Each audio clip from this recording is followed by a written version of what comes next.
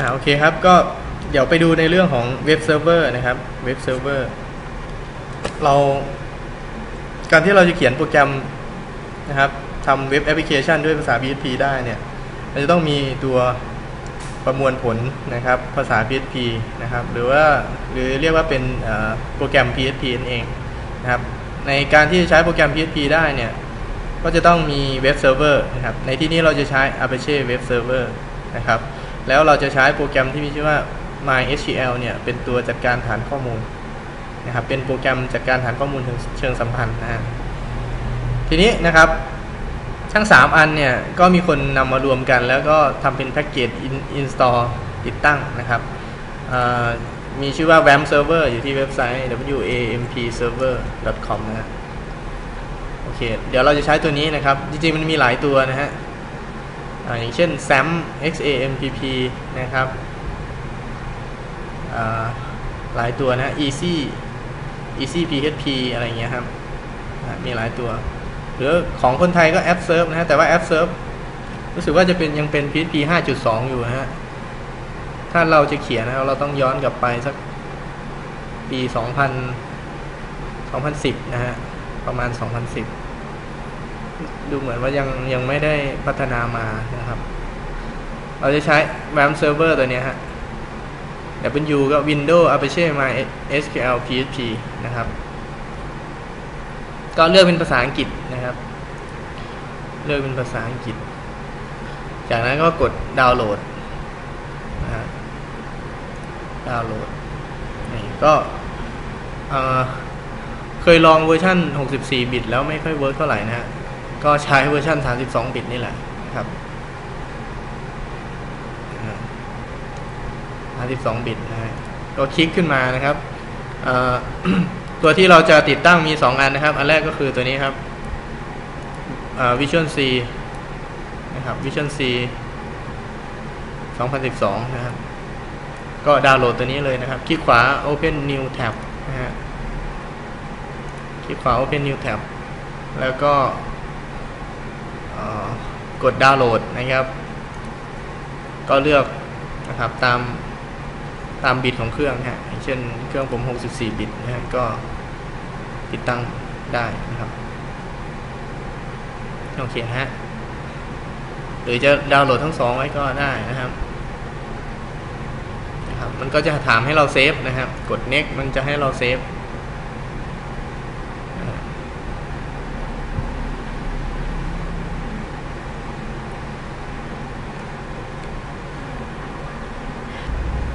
นะครับเราก็เซฟนะครับ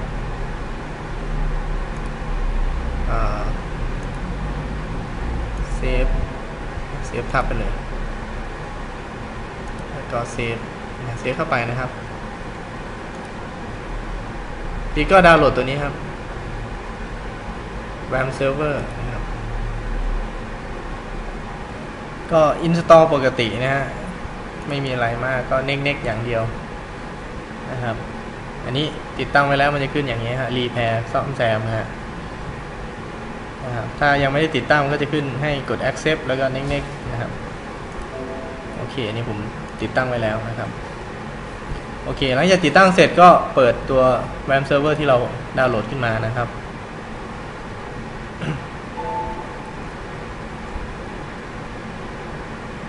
ก็จะมีมี access control นะครับ ก็กด yes นะ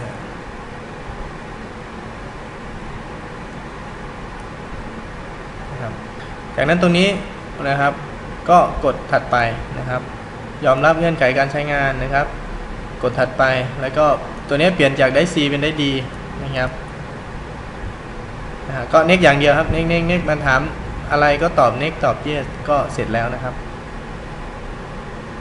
อันนี้คือติดตั้ง RAM server ในเครื่องนะครับ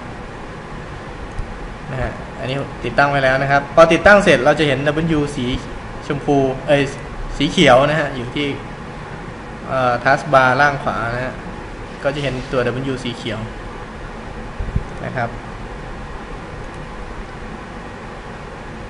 นะครับพอเปิดพิมพ์ localhost อย่างเงี้ยมันจะขึ้นแบบนี้ครับ แสดงว่า ทำงานร้อยเปอร์เซ็นแล้วนะครับ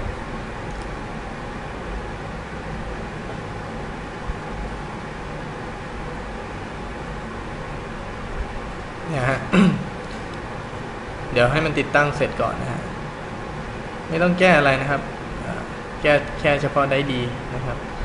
นี่คือทำงานร้อยเปอร์เซ็นต์แล้ว ก็จะเห็นว่า Apache เวอร์ชันอะไรนะครับ PHP เวอร์ชันอะไร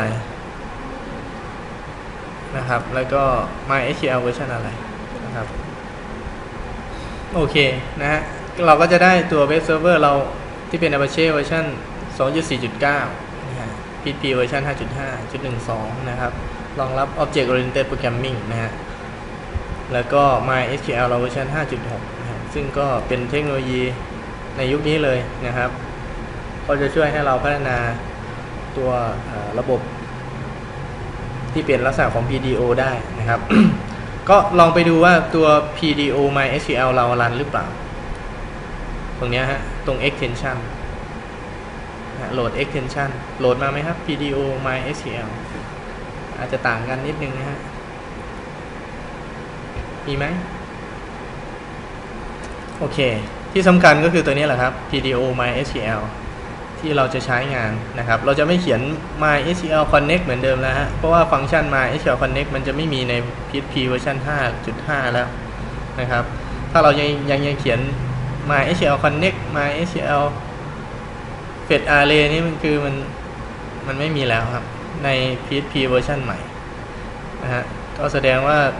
ในอนาคตตลาดงานของเรานะครับ เวลาที่เราทำแอปพลิเคชันเนี่ย มันจะไม่มีตัวนั้นแล้ว เพราะ เวอร์ชันเก่านะครับมันความปลอดภัยมันค่อนข้างต่ำนะครับโอเค ก็เดี๋ยวเราไป ดูกันเลยนะครับ อันนี้ก็คือหน้า localhost นะครับอ่าโปรเจกต์ของเราจะอยู่ที่เมื่อเมื่อกี้เราเปลี่ยนเป็นได้ดี WAM World Wide Web นะครับอ่าลองคลิกที่ W สีเขียวนะครับ แล้วเลือก World Wide Web Directory นะครับ W W Directory นะครับ มันจะขึ้นอย่างนี้นะครับ อันนี้ก็คือ root ของเว็บไซต์เราของเว็บแอปพลิเคชันเรานะครับนะฮะมันจะมีไฟล์ index.php ใช่ไหมครับ ไฟล์ index.php ก็คือไฟล์เนี่ยที่เราเห็นเนี่ยแหละ run ขึ้นมาจะขึ้นอันเนี้ยนี่คือไฟล์ index ส่วน your project นี่คือโปรเจกต์ที่เราจะจะสร้างขึ้นนะครับ อันนี้ถ้าติดตั้งใหม่ๆ อาจจะไม่มีอะไรนะครับ ก็คือ1โฟลเดอร์ก็คือ1โปรเจกต์นั่นเองนะครับโอเคนะครับ1โฟลเดอร์คือ1โปรเจกต์อันนี้ก็ เเรายังไม่ได้สร้างโปรเจกต์นะครับอ่าโอเค ก็ประมาณนี้นะครับในเรื่องของเว็บเซิร์ฟเวอร์นะครับ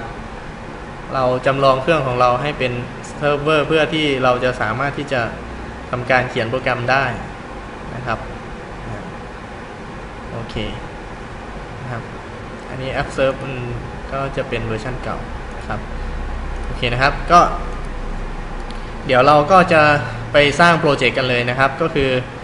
อ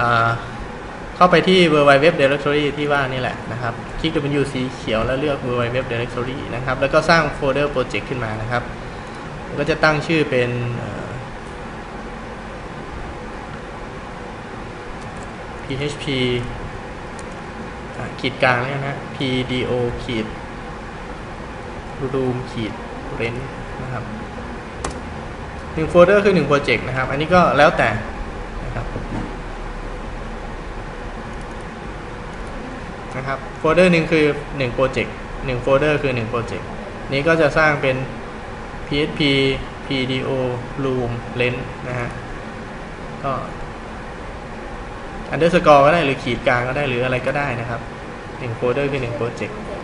โอเค ทีนี้ก็ลอง refresh หน้า localhost ดูนะครับ แล้วก็เลื่อนมาตรง your project เนี่ยจะเห็นว่ามันจะมีโฟลเดอร์สีเหลืองๆของเราที่เราสร้างขึ้นนะครับ php เจอไหมฮะนี่เจอแล้วเนี่ย php pdo room length อะคลิกเข้าไปข้างในก็จะไม่มีอะไรใช่ไหมฮะ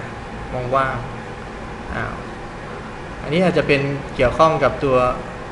RAM server เองนะฮะ อันนี้ใส่ localhost ข้างหน้านะครับ slash มันจะเด้งออกมาข้างนอกนะฮะอะผมพิมพ์ผิด host นะครับโอเค มันจะเป็นอย่างเงี้ยครับ ก็คือข้างในมันไม่มีอะไรนะครับอ่าอาจจะเป็นบั๊กของในตัว RAM server นี้ก็ได้นะครับพอคลิกปุ๊บมันจะเด้งขึ้นมาข้างบนนะฮะเคนะฮะ localhost slash ชื่อโปรเจกต์เรานะครับก็เหมือน 127.0.0.1 ชื่อโปรเจกต์เราก็ได้อันเดียวกันนะครับโอเคนะฮะอันนี้ก็คือการติดตั้ง WAMP Server แล้วก็ลองสร้างโปรเจกต์ขึ้นมาดู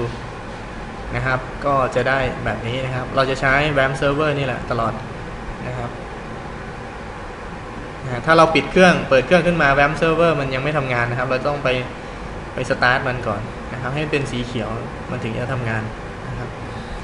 โอเคนะครับ อันนี้เดี๋ยวไปดู step ต่อไปเลยนะครับ